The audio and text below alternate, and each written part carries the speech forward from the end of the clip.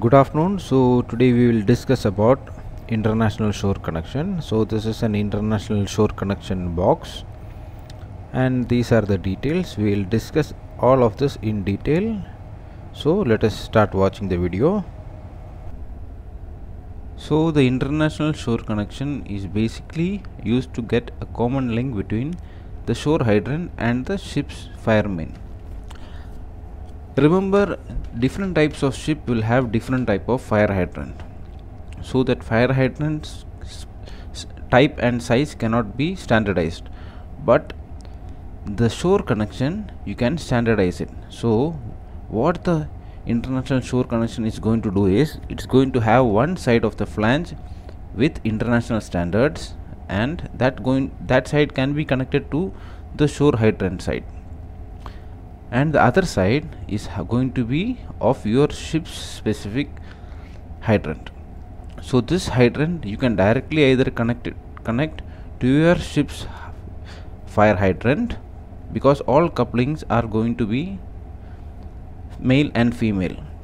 So you can either connect it directly to your ship or you can rig a fire hose from the international shore connection and connect it to your ship's hydrant so this is the basically the reason why international shore connection is given. So at least if you have one uh, hose to charge your fire main you can fight fire somewhere else on your ship because you can isolate your fire main and at one point if you put the water at least from the other side the fire main will get charged and from other other side you can fight the fire using your ship's fire hose. Now there are locations that are to be specific for international shore connection. Where it is going to be kept is basically as per your ship's fire control and safety plan.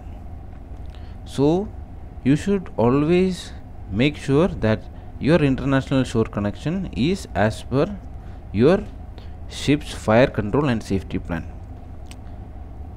And mostly it is in a place that is going to be accessible by the fire brigade. Now the dimensions i will show it to you along with the explanation. Then it is going to be a better understanding.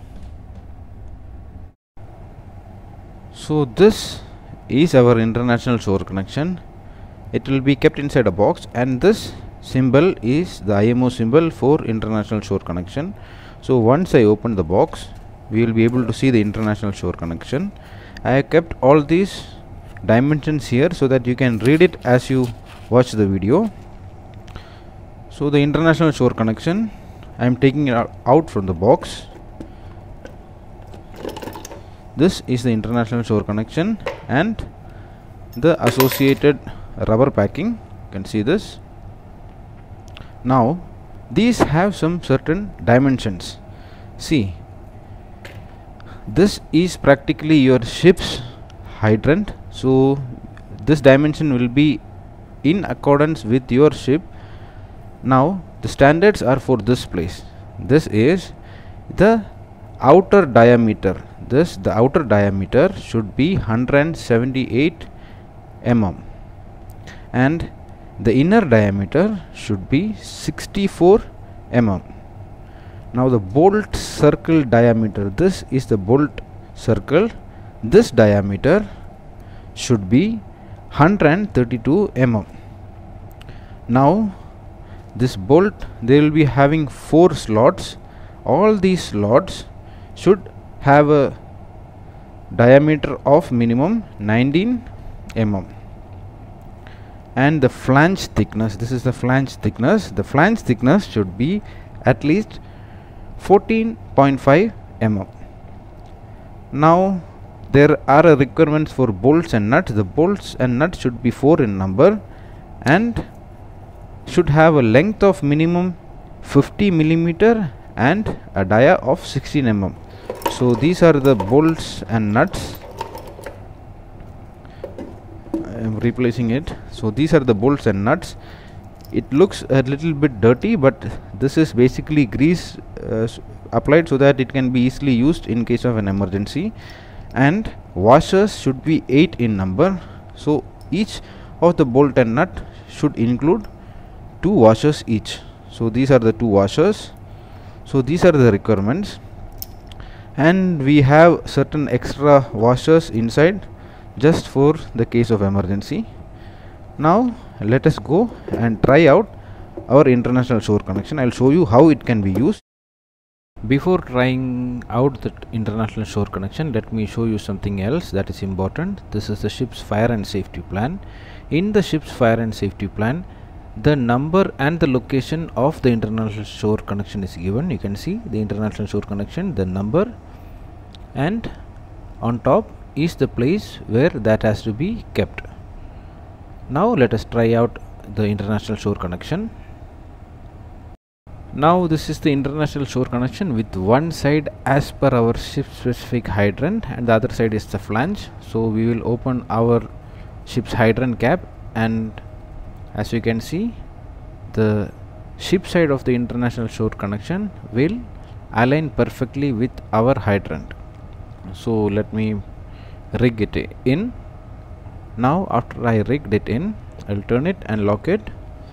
Now the shore side will be having a hose and their hose will have at one side the same specific as our international shore connection.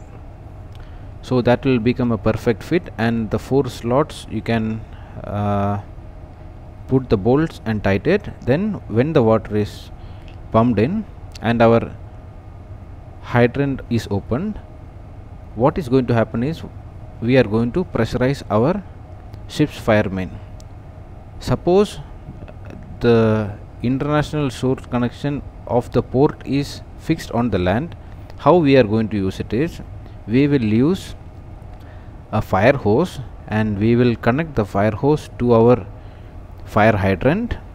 And at the other end of the fire hose we will connect to the international shore connection. Now this side can be taken out to the land and connected to the flange of the port.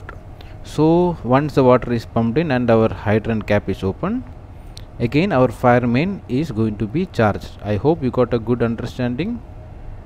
Thank you